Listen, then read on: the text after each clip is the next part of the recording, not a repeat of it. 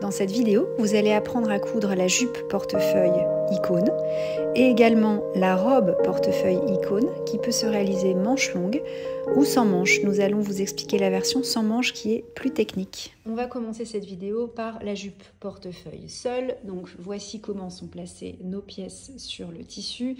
Donc nous avons un tissu qui a été plié en deux. La laise est dans ce sens-là. Donc vous avez du coup la jupe qui est positionnée comme ceci en pliure la jupe devant qui est positionnée comme ceci.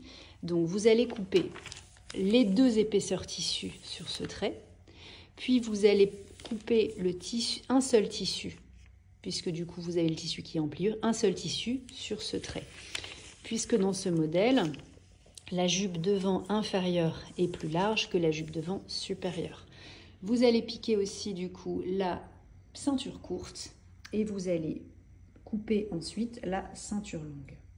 Donc on vous conseille de noter avec une craie sur l'envers de votre tissu ce qui est la jupe devant supérieure, ce qui est votre dos, même si le dos est plus évident, et ce qui est votre jupe du coup devant inférieur.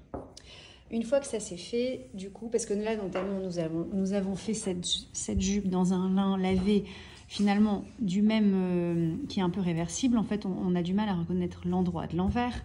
Donc maintenant, on va vous montrer les pinces. Donc pour faire les pinces, vous allez plier votre tissu endroit contre endroit. Vous allez reporter du coup les pinces du coup sur le tissu et vous allez piquer du coup en démarrant du haut de la pince. Vous continuez dans le vide ici, vous coupez vos fils et ici vous pourrez faire un petit nœud. Vous allez donc faire ça pour vos deux jupes devant. Une fois vos pinces faites, vous allez donc assembler du coup les deux jupes devant. Donc là, j'ai le dos qui est ici. J'ai le dos qui est là. On va donc positionner la jupe devant supérieure et on va piquer ici à 1 cm du bord. Et on va faire la même chose à gauche, donc pour la jupe devant inférieure. Donc on va piquer du coup les deux côtés extérieurs. Comme cette jupe est assez près du corps, ce qu'on a fait, nous, on a surjeté, puis on a piqué, on a ouvert au fer pour que du coup on ait le moins d'épaisseur possible sur les hanches. Maintenant, on va faire les coutures côté du coup des deux jupes supérieures. Donc, fonction de l'épaisseur de votre tissu. Si vous avez un tissu qui est fin ou moyen, un peu comme notre lin lavé ici, vous pouvez du coup ajouter 2 cm de valeur de couture. Vous allez donc replier sur 1, repasser, puis re-replier sur 1 et piquer du coup à 1 mm. C'est la finition que nous avons choisie. Si vous avez un tissu qui est épais, dans ce cas, vous n'ajoutez que 1 seul centimètre de valeur de couture. Vous surjetez vos coutures, vous rabattez sur 1, vous repassez et vous piquez à 1 mm du bord. Donc maintenant, on va vous montrer comment assembler la ceinture. Donc la euh, ceinture, nous l'avons thermocollée donc tout du long. Nous avons aussi fait un repli de 1 cm sur un seul des côtés. On a marqué aussi au fer la moitié de la ceinture, le milieu de la ceinture. Donc là maintenant, vous allez assembler la ceinture le long de la jupe. Donc sur le côté inférieur, vous faites dépasser la ceinture de 1 cm. Sur la jupe supérieure, du coup, la ceinture est plus longue. Donc une fois que vous avez piqué à 1 cm, vous allez du coup replier la ceinture comme ceci. Voilà, donc on la recouche endroit contre endroit. Et ici, nous allons piquer à 1 cm, en fait en lisière de l'ourlet de la jupe du cou inférieur. Et pour du coup, là, de l'autre côté de la ceinture, donc là, elle est ouverte, vous allez du coup la replier de la même façon endroit contre endroit. Là, vous allez complètement l'ouvrir, donc le 1 cm de repli, en fait, vous en, vous en préoccupez pas. Et vous allez fermer entièrement, du coup, la ceinture à 1 cm. Vous allez dégarnir. Voilà, comme ça, ensuite, vous allez pouvoir retourner bien sur l'endroit cette extrémité de ceinture.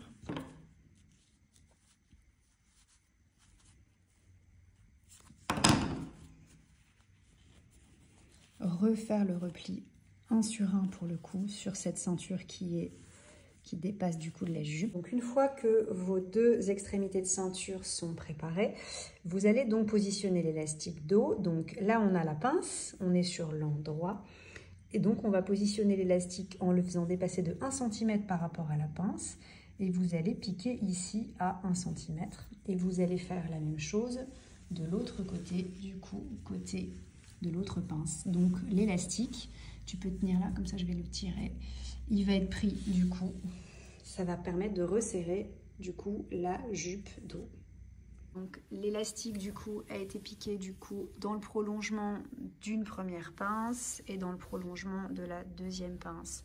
Donc là voilà quand on tire du coup ça donne ça. Et donc là maintenant Aurélie va démarrer par la ceinture qui est en lisière du coup de la jupe devant et donc elle va piquer à 1 mm du bord et quand elle va être sur l'étape de l'élastique du coup elle va piquer, elle va tirer, pardon, l'ouvrage pour que ça puisse être possible de piquer la ceinture au niveau de l'élastique.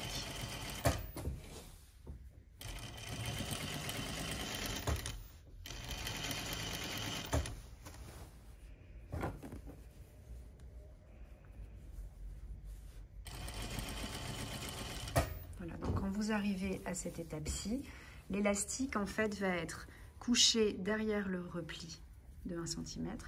Vous allez rabattre l'autre ceinture à côté et vous allez donc tirer l'ouvrage comme ceci, voilà, pour piquer du coup la ceinture avec l'élastique à l'intérieur.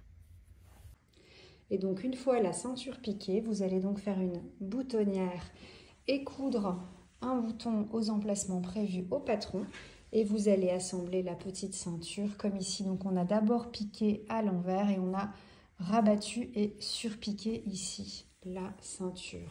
Votre jupe portefeuille est terminée.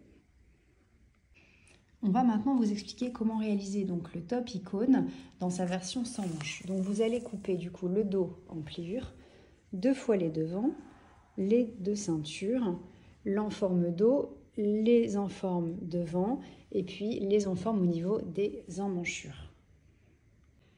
Donc première étape, vous allez donc piquer à 1 cm les épaules, surjeter et coucher vos coutures côté dos. Vous allez ensuite donc thermocoller les enformes donc des parmentures devant et dos et vous allez aussi assembler donc sur le dos les deux enformes, piquer 1 cm et là pour le coup ouvrir vos coutures au fer. Puis vous allez du coup assembler du coup cette parmenture sur les devants. Donc vous allez positionner l'enforme dos contre le dos. Vous allez faire correspondre les coutures épaules. Et vous allez faire pas la même chose de l'autre côté. Et vous allez piquer ici à 1 cm du bord. Donc une fois assemblé, ça donne ça. Donc vous allez ensuite surfiler l'extérieur de la parmenture. Vous allez cranter ici vos arrondis. Vous allez coucher le rentrée de couture côté parmenture et vous allez du coup réaliser une couture à 1 mm du bord côté du coup. C'est pour coucher le rentrée de couture côté parmenture.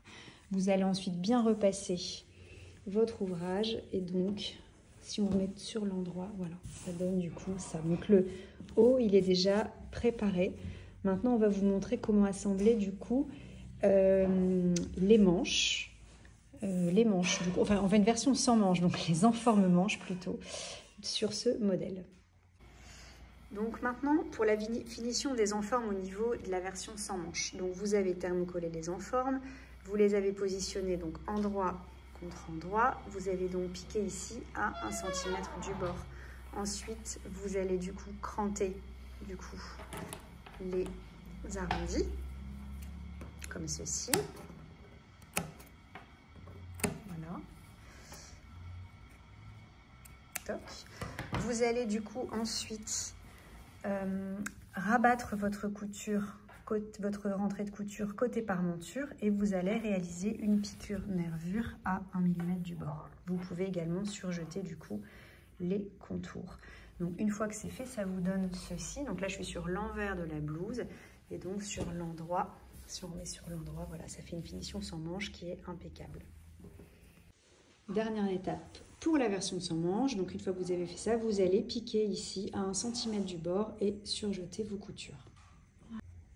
Donc maintenant, même technique que pour la jupe, pour l'assemblage de la ceinture du cou de la blouse seule. Donc là, nous sommes sur l'envers de la blouse. Vous allez positionner la ceinture du coup sur l'envers. Vous avez préalablement fait un repli de 1 cm et repasser au fer. Vous avez laissé dépasser de 1 cm ici du coup la ceinture. Vous allez donc piquer l'extrémité de ceinture comme ceci, ce qui fait que quand nous allons retourner du coup sur l'endroit, cela donnera ceci. Voilà. Donc on prépare les deux extrémités de ceinture. Excusez-moi, on pique, vous positionnez la ceinture, vous piquez 1 cm, vous faites vos deux extrémités de ceinture, puis vous allez du coup positionner l'élastique entre les deux coutures côté. Donc vous allez positionner comme ceci l'élastique, puis refermer la ceinture, et puis du coup vous allez repiquer à 1 mm du bord, exactement comme nous avons fait la jupe portefeuille seul. Donc voilà, une fois la ceinture fermée, ça donne ça. Donc vous avez un dos qui est légèrement élastiqué. Vous allez donc ensuite refermer du coup la blouse et vous allez positionner comme ceci du coup. Donc en extrémité de ceinture, une boutonnière. Donc généralement on ferme droit au porté. Donc ici, nous aurons une boutonnière et ici, nous aurons un bouton. Et ça permettra du coup tout simplement de fermer la blouse. Si vous n'êtes pas à l'aise avec les boutonnières, vous pouvez également mettre une pression du coup de ces, sur ces deux parties-là.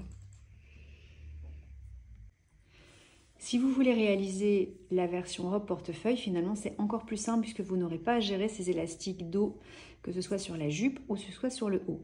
Vous allez par contre conserver ici les deux petits replis au niveau de la blouse et vous allez assembler la blouse sur la jupe. Donc la jupe, vous la terminez comme tout à l'heure avec les ourlets côtés. Vous pouvez même déjà faire les ourlets bas. La blouse, vous faites toutes les étapes de la blouse, sauf que vous ne mettez pas la ceinture de la blouse. Et vous allez piquer ici tout simplement à 1 cm du coup du bord. Maintenant, vous allez attaquer donc les petites ceintures. Donc, on ne va pas se répéter. Vous pouvez reprendre exactement la même étape que quand on a fait les petites ceintures de la jupe seule. Donc vous faites une petite ceinture et une grande ceinture.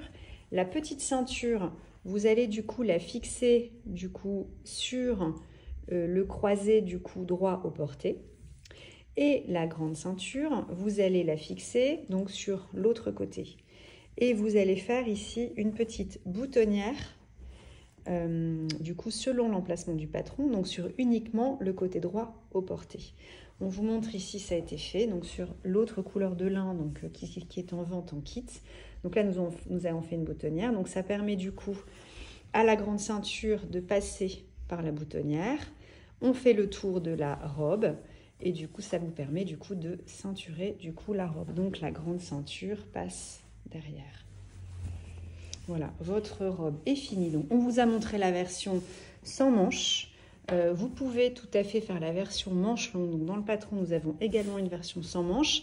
Pour ce faire, vous pouvez visionner la vidéo de la chemise essentielle ou regarder tout simplement les croquis du guide parce que faire une manche, c'est finalement pas compliqué, c'est presque plus simple que de faire une version avec en forme. C'est pour ça qu'on vous a fait la version sans manche en vidéo. Vous pouvez ensuite finir, si vous ne l'avez pas fait, vos ourlets donc on a fait des ourlets de 2 cm, donc un repli de 1, on repasse, un deuxième repli de 1 et on pique à 1 mm du bord. On espère que cette vidéo vous a plu.